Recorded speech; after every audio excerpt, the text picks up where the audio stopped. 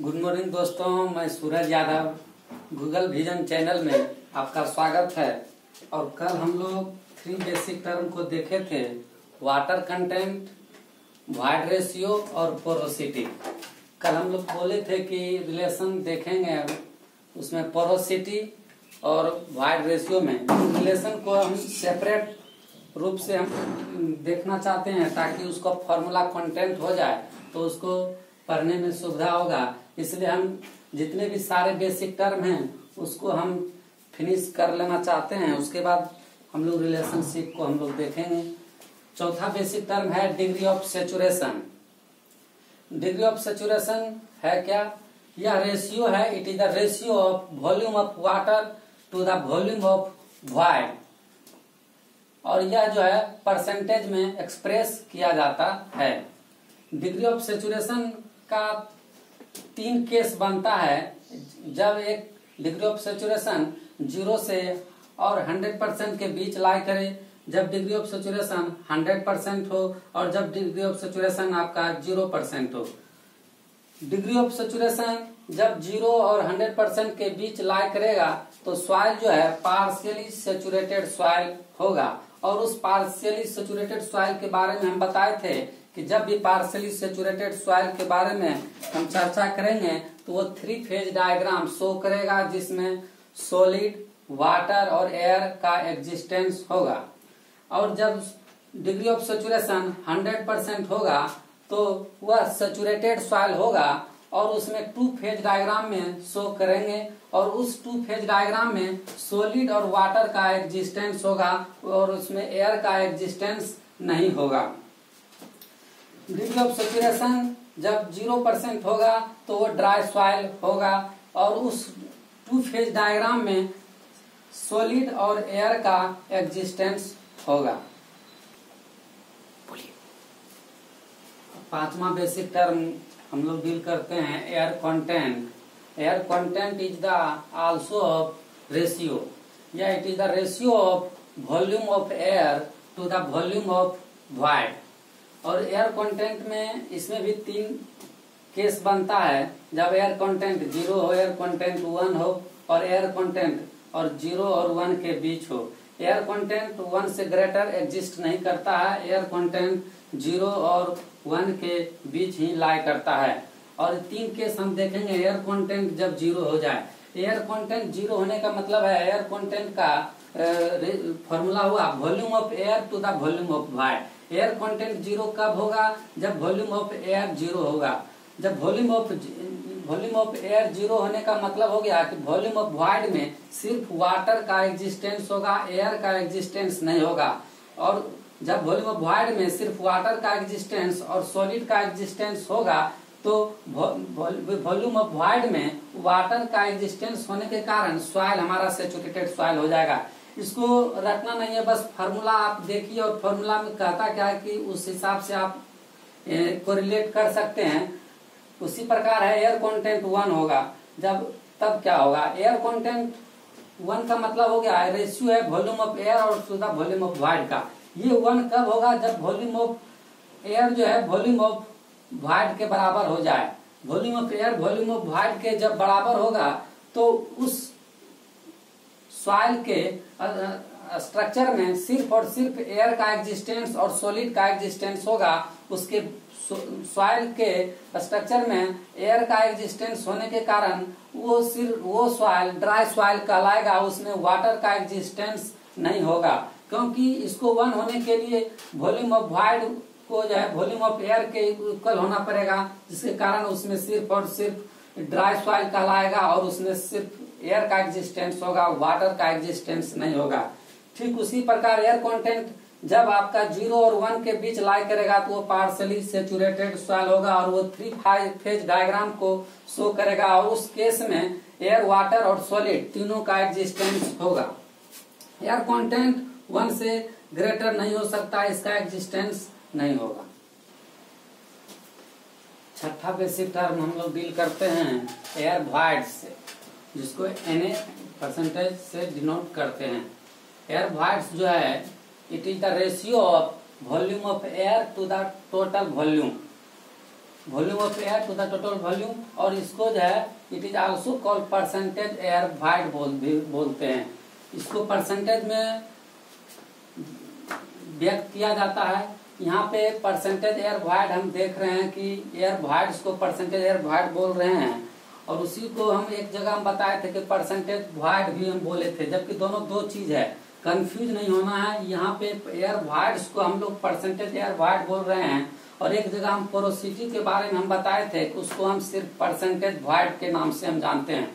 दोनों का नाम अलग अलग है दोनों का फॉर्मूला भी अलग अलग है, दोनों का रोल भी मेडिकल में अलग अलग है। इसलिए नाम से कंफ्यूज नहीं होना है कि यहाँ भी ये परसेंटेज है, वहाँ भी परसेंटेज वाइड है, वहाँ भी परसेंटेज ये परसेंटेज एयर वाइड है, जो रेशियो है वॉल्यूम ऑफ़ एयर का टू द टोटल वॉल्यूम का। और वो वो आपका नाम था आपका पोरोसिटी का जिसको परसेंटेज वाइड से हम लोग जानते हैं। इसका वैल्यू लाई करता है ज़ीरो से ज़ीरो परसेंट से हंड्रेड परसेंट के बीच एयर वाइड लाई करता है। और सातवां बेसिक टर्म हम डील कर रहे हैं unit weight of soil unit weight बस ये बेसिक टर्म हम बता रहे हैं, इसी के आधार पर बहुत सारा यूनिट टर्म होगा, उसको हम जानेंगे। यूनिट वेट ऑफ़ सॉइल को हम लोग गामा से डिनोट करते हैं। Unit weight of soil gamma बराबर होता है वेट बाय वॉल्यूम वेट को mass into acceleration due to gravity लिखेंगे और वॉल्यूम को भी से डिनोट करेंगे। मास बाय वॉल्यूम को हम जानते हैं कि डेंसिटी बोलते हैं। मास बाय वॉल्यूम को डेंसिटी लिखेंगे, उसके बाद रो इंटू जी गामा बराबर रो जी ये बहुत ही यूज़ होगा, ये गामा बराबर rho g unit weight of soil rho into g अब ये जो है यूनिट वेट ऑफ़ सॉइल का यूनिट जो है न्यूटन पर मीटर क्यू आया कैसे, हम कैसे जाने कि इसका यूनिट जो है न्यूटन पर मीटर क्यू होगा? क्योंकि डेंसिटी का हम यूनिट जानते हैं कि किलोग्राम पर मीटर क्यू होता है और एक्सेलरेशन ड्यू टू ग्रेविटी का मीटर पर सेकेंड स्क्वायर होता है। नाइन्थ क्लास में हम लोग ये न्यूटन के बारे में हम जाने थे कि वो न्यूटन कहते किसको हैं कि आप एक किलोग्राम के बॉडी पे अगर आप एक यूनिट सेकेंड में अगर one metre per second square का एक्सिलेशन प्रोड्यूस कर देंगे तो उसको वन न्यूटन का अमाउंट हम बोलेंगे।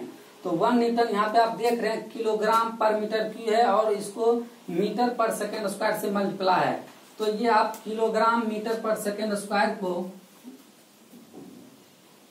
न्यूटन बोल सकते हैं, क्योंकि ये आप यूनिट के जी और unit metre acceleration due to gravity ये आपका न्यूटन हो गया और ये डिनोमीटर में आपका मीटर क्यू आएगा।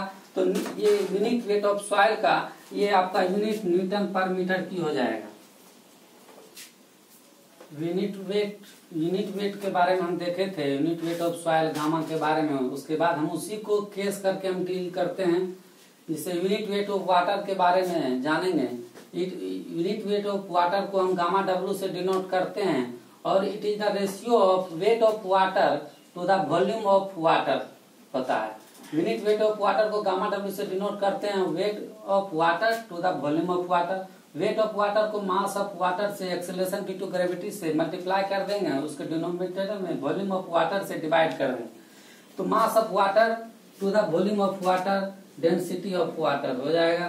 फिर unit weight of water gamma W बराबर रो डब्ल्यू इंटू जी अब गामा डब्ल्यू डब्ल्यू को हम निकालेंगे कि यूनिट वेट जो है वाटर जो है, वो कितना होता है? डेंसिटी ऑफ़ वाटर हम जानते हैं कि 1000 किलोग्राम पर मीटर क्यू होता है और acceleration due to gravity 9.81 metre per second square होता है। इसी को मल्टीप्लाई कर देंगे तो जिस तरह से हम न्यूटन के बारे में पिछले बार में बताए तो उसी को यूज़ करते हुए यहाँ भी आ जाएगा। 1000 thousand into nine point eight multiply करेंगे तो 9810 न्यूटन पर मीटर क्यू आएगा और इसी को अगर हम न्यूमिनेटर और डिनोमीटर दोनों में वन थाउज़ेंड से मल्टीप्लाई कर देंगे तो ये किलो न्यूटन का फॉर्म आ जाएगा या ये मीटर क्यू का फॉर्म आ जाएगा आ जाएगा। तो गामा डब्ल्यू का वैल्यू आ गया 9.8 word kilo newton per metre cube ये ऑब्जेक्टिव तौर पे याद रहना चाहिए कि गामा डब्ल्यू का वैल्यू होता कितना है। अब गामा डब्ल्यू का वैल्यू दो टर्म में हमको देखने को मिलेगा, जो भी हम न्यूमेरिकल में सॉल्व करेंगे ऑब्जेक्टिव और सब्जेक्टिव तो लेकिन इसमें है कि गामा डब्ल्यू का वैल्यू हम अगर दिया हुआ रहा तो ठीक है। नहीं तो अगर हम ऑब्जेक्टिव क्वेश्चन को अगर हम सॉल्व कर रहे हैं तो gamma W unit weight of water का value 9.81 kilo newton per metre cube लेंगे? और अगर हम सब्जेक्टिव क्वेश्चन को अगर डील कर रहे हैं तो उसको क्या कहें? उसको सॉल्व करने के आसान हो जाए, इसलिए गामा डब्ल्यू का वैल्यू हम लोग ten kilo newton per metre cube लेंगे? जब हम सब्जेक्टिव क्वेश्चन को डील कर रहे होंगे।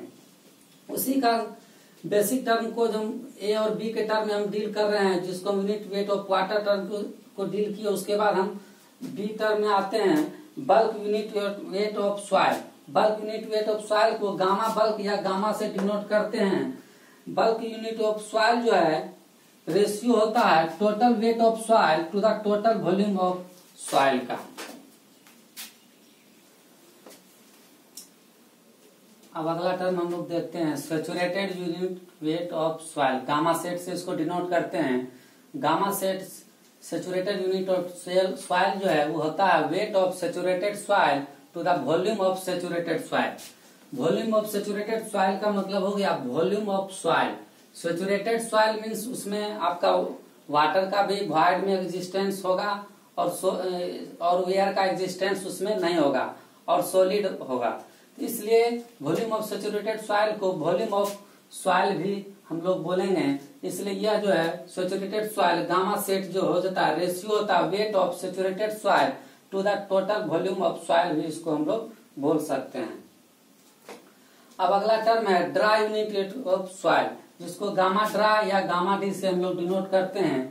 ड्राई यूनिट ऑफ़ सॉइल जो है it is the ratio of dry weight of soil to the dry volume of soil dry weight of soil का मतलब हो गया कि उसमें न, ए, वाटर का एग्जिस्टेंस नहीं होगा सिर्फ़ सॉलिड का एग्जिस्टेंस होगा और एयर का एग्जिस्टेंस होगा। वाटर का एग्जिस्टेंस होने के न, कारण नहीं होने के कारण ड्राई वेट ऑफ़ सॉइल को हम लोग वेट ऑफ़ सॉलिड भी बोल सकते हैं। और ड्राई वॉल्यूम ऑफ़ सॉइल होने के कारण उसमें जो है सिर्फ़ और सिर्फ़ उसके सॉइल सैंपल के वॉल्यूम में सिर्फ़ जो है सॉलिड होगा और एयर होगा, जो कि ड्राई फॉर्म में होगा, इसलिए उसको वॉल्यूम ऑफ़ सॉइल भी हम लोग बोल सकते हैं। Dry gamma D equal to weight of solid to the total volume of soil unit weight of solid जो है, अगला टर्म हम लोग देखते हैं यूनिट वेट सॉलिड जिसको गामा एस से डिनोट करते हैं। Unit weight of solid gamma S जो है रेशियो होता है weight of solid to the volume of solid का। इसको गामा एस जो है, इसमें सिर्फ़ और सिर्फ़ सॉइल के स्ट्रक्चर में वेट ऑफ़ का सॉलिड लेंगे और वॉल्यूम ऑफ़ सॉलिड लेंगे। इसमें ना ही वाटर से लेना देना है, ना ही एयर से लेना है। सिर्फ़ और सिर्फ़ सॉलिड पर हम लोग इसमें कंसिडर करेंगे।